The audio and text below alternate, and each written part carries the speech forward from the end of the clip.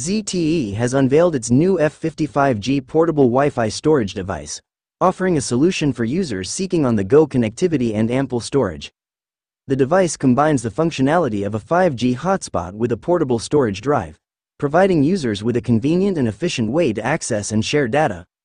Users can connect up to 10 devices simultaneously, making it ideal for shared internet connections featuring 256 gigabytes of built-in storage and expandable memory support up to 2 terabytes via micro SD card.